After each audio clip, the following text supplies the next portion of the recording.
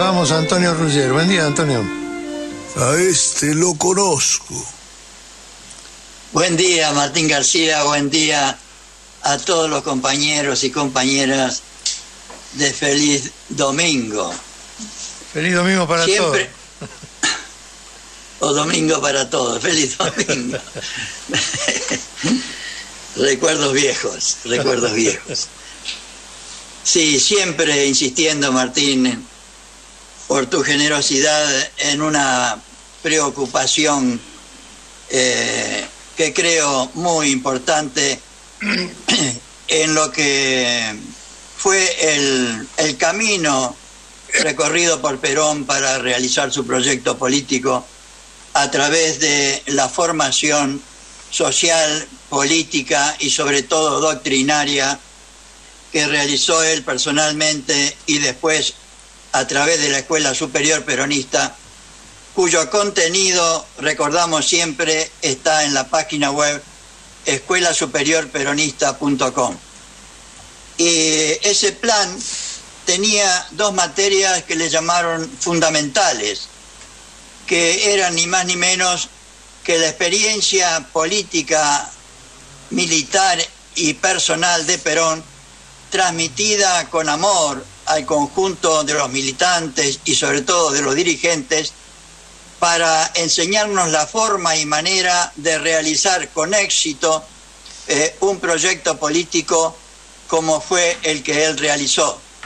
Y la segunda materia era historia del peronismo, ambas realizadas eh, en la misma escuela, eh, conducción política por Perón e historia del peronismo por Evita, donde podemos observar con claridad eh, un ejemplo de amor, de mística, de convicción y de coraje para los militantes y dirigentes del movimiento nacional.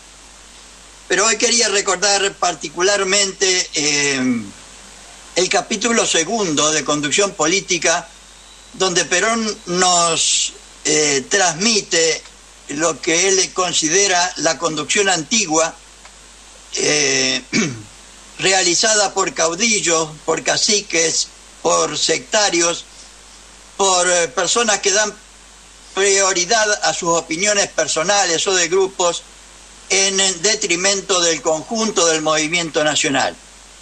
Y él, eh, desde ya, toda su preocupación y toda su prédica fue siempre dirigida al conjunto del pueblo argentino. Y entonces en ese capítulo segundo de conducción política, él nos propone reemplazar a, las, a los caudillos, a los caciques, a las opiniones personales o de grupos, por una doctrina, una causa, un ideal nacional eh, que exprese los anhelos y las necesidades del conjunto del pueblo argentino.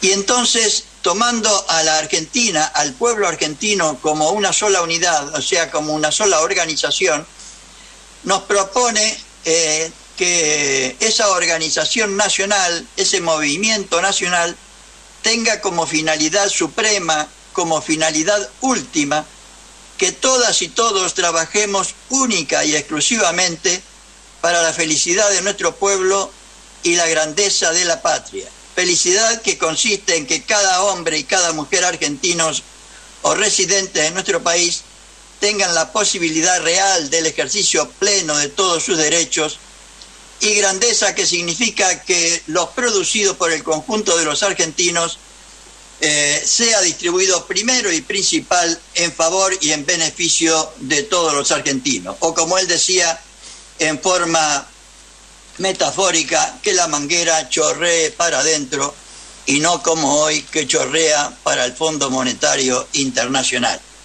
Quería recordar esta enseñanza del general Perón porque me parece de extrema eh, necesidad y de alta actualidad. Muchísimas gracias, Antonio.